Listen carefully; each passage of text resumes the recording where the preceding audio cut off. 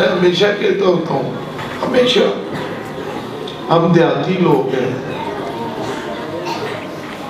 کوئی ہم سے ناراض ہو جائے نا، اللہ ہم سے ناراض ہے۔ یہ جو مکہ مدینہ بند ہو گیا نا، حرمین شریف ہیں، ہم پہ بند ہو گئے، یہ ناراضگی کی علامت ہے۔ ایسے حاکم ہم پہ مسلط ہو گئے، یہ اللہ کی ناراضگی کی علامت ہے۔ یہ نفسہ نفسی اور یہ جو واقعات چودہ اگست میں ہو گئے فیصل آباد میں ہو گئے مری میں ہو گئے یہ جو ایسے واقعات ہیں یہ اللہ کی ناراضگی کی علامت یہ اللہ کو راضی۔ یہ بی بی پاک اسلام اللہ علیہ کا وسیلہ واسطہ دے کے میں جو بات کر رہا تھا کہ ہم دیہاتی لوگ ہیں۔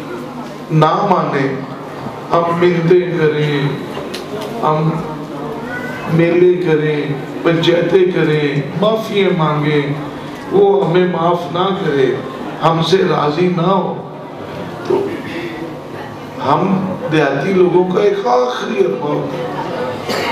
آخری اربا ہوتا ہے، کسی کو راضی کرنے کا کہ گھر کی عورتیں پکڑتے ہیں، ہم بیوییں بہنیں، بیٹیاں، ہم گھر کی عورتیں پکڑ کے اس مخالف کے یا اس ناراض کے اس کے دروازے پہ لے جاتے ہیں۔ ہم دیہاتیوں میں یہ ہے کہ جب وہ دیکھتا نا جی کہ دنیا جہان کے واسطے وہ نہیں مانگتا کہ جب یہ بیٹیاں جب دروازے پہ آ جاتی ہیں تو سر سے سر دل بھی وہ آپ کو معاف کر تو ہمارے پاس محمد کی بیٹی سے بڑھ کے اور کوئی واسطہ ہے ہی نہیں، اور کوئی در ہے ہی نہیں، سمجھے؟ آپ کو ایک میں آسان ایک یہ میں طریقہ بتا رہا ہوں، کر کے دیکھیے گا۔ اور اللہ آپ کی مرادیں پھر کیسے پوری کریں؟ اور ساتھ ہی ایک آخری بات کہ نماز پڑھا کریں۔ نماز کی کوئی معافی نہیں۔ وہ ہے نا قرآن پاک میں ماں صالح کا کم فی سکر قیامت والے دن لوگوں سے پوچھا جائے گا کہ لوگوں تمہیں یہ جہنم میں، یہ آگ میں سکر میں کس بات نے ڈالا؟